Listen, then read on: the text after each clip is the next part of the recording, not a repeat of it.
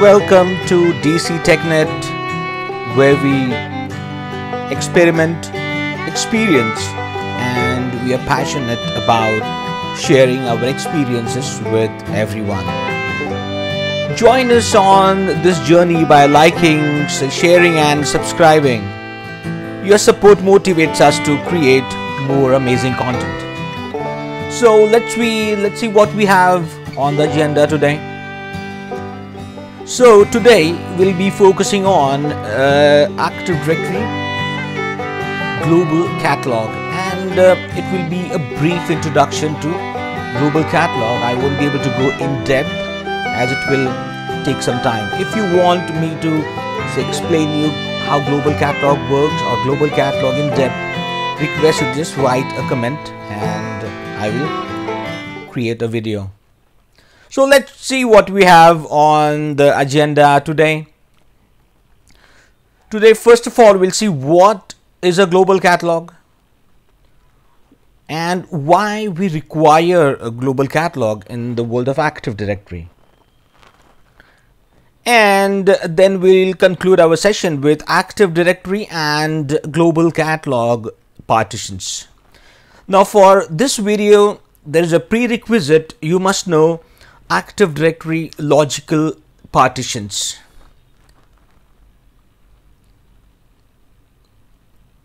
So let's get started. So what is a global catalog and a global catalog server? So a global catalog is the index of the entire Active Directory forest. So it's the index of the entire Active Directory forest. So we have seen the index of a book. So what we do, we browse through the index and go to the required say page. Same thing over here in Active Directory, we can query the global catalog and find objects in the entire forest, not just the domain. So that's the core concept behind global catalog. It's a global catalog. So Again, global catalog always resides on a domain controller.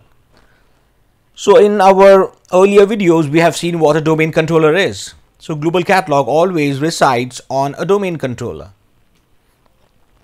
So any domain controller which holds this global catalog is also called as a global catalog server.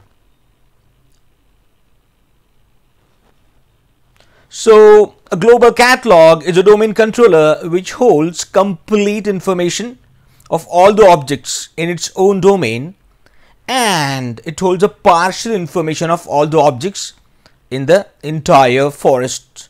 So there is a caveat over here. If a domain controller will definitely hold complete information of all the objects in its own domain, but if it's a global catalog, it will hold partial information of all the objects in the entire forest, not the complete information. Now, why this why it holds a partial information? So the global catalog stores only the partial information or we can say only the subset of attributes of each object in the active directory forest. So if it would have hold the complete information, the data handling would be too much overhead for a global catalog. So for making the data handling say more smoother, what Microsoft did is Microsoft thought and they just make made sure that only partial information of all the objects in this in the entire forest are stored with the global catalog. So this is what a global catalog is and a global catalog server. So let's take an example over here. Because understanding the theory is okay, but the things get more simpler when we go down to an example. So let's say we have uh, two domains in the same forest east.contoso.com and west.contoso.com and we have say domain controllers in each domain NYDC and HKDC. And both the domain controllers are global catalogs of their respective domains. Now we have a user in east.contoso.com named Peter. Now this New York DC will have all the attributes of Peter. That is, New York DC will hold complete information of this user object named Peter. And Hong Kong DC will hold the partial attributes of the user named or the object Peter. It will not hold the complete information because it's a global catalog. It will only hold the partial information of the user object Peter which is present in east.contoso.com. So these are some of the partial attributes by default which is held by every global catalog for every object in the entire forest. So this is a list of attributes which are the part of global catalog by default. So every global catalog will hold these attributes of every object in the entire forest. Now let's go the other way around. Let's say we have some users, user objects in west.contoso.com domain. So what will happen is their partial attributes will be stored in New York DC because it's a global catalog. But Hong Kong DC will have complete attributes of these user objects. So hope you have understood the concept of global catalog by this example. So let's go ahead. So let us understand why we require global catalog or what are the functions of global catalog.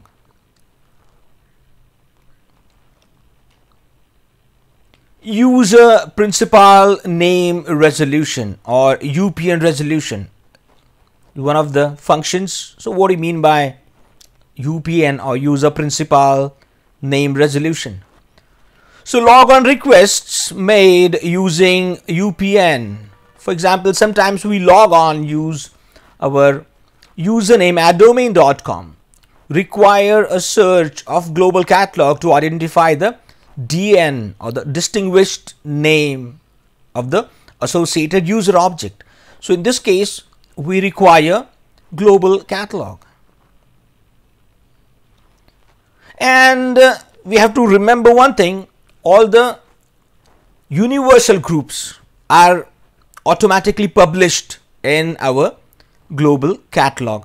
So our global catalog knows of each and every universal group in our forest.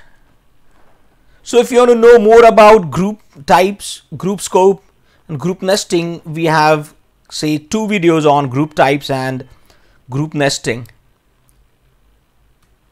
So log on requests made in multi-domain environments require a use of global catalog that can check the existence of any universal group and determine if the user logging onto is a member of any of those groups. So whenever a user logs on in a multi-domain environment, it will first contact the global catalog to make sure that if that uh, say user is a member of any universal group or not.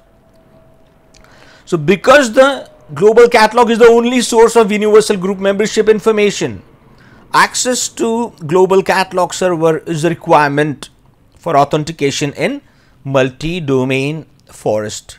So if you have multiple domains in a single forest, global catalog is a requirement for authentication. So these are the two say major functions or whys of why we require a global catalog.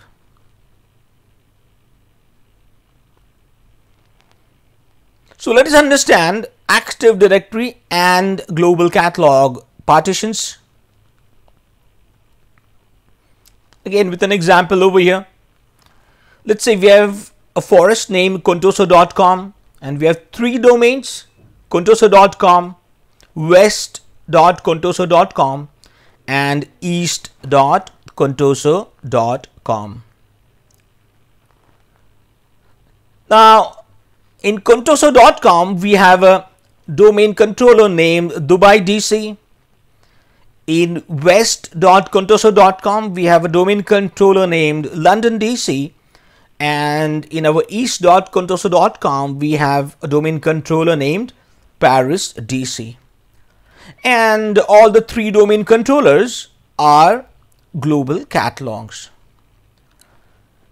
Now we know that Active Directory is say database. The name of the Active Directory database file is ntds.dit which is present on every domain controller. Now this ntds.dit database file is logically partitioned into four partitions and these four partitions are also known as Active Directory replication partitions. So every domain controller will have these four partitions by default. So these partitions are schema, configuration, application and domain partition. So schema, configuration and domain partition are mandatory partition and application partition is optional. So if we integrate any application say such as DNS in our active directory, a fourth partition will be created and that partition is known as application partition.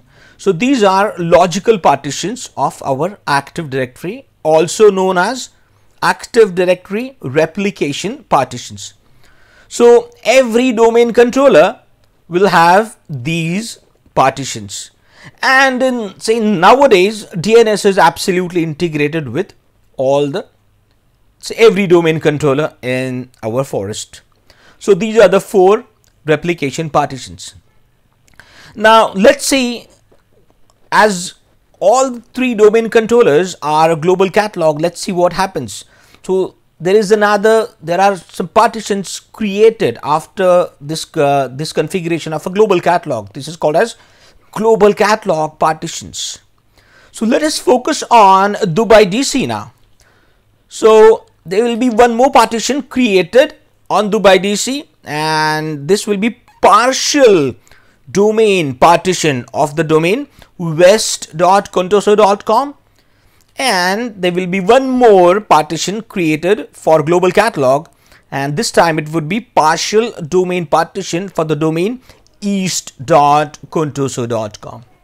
So this contoso.com domain global catalog will have two partial domain partitions, one for west.contoso.com and one for east.contoso.com.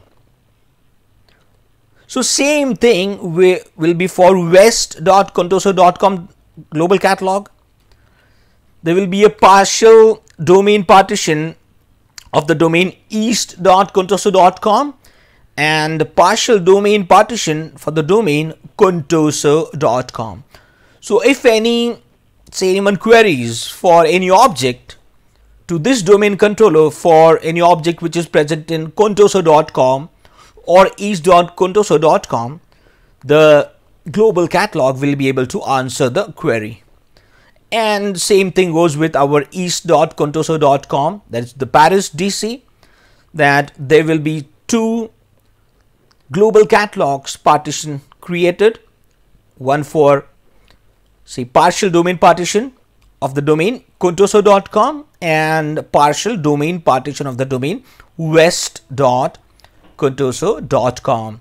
So in this manner, our global catalog is able to resolve all the queries of any object in the entire forest.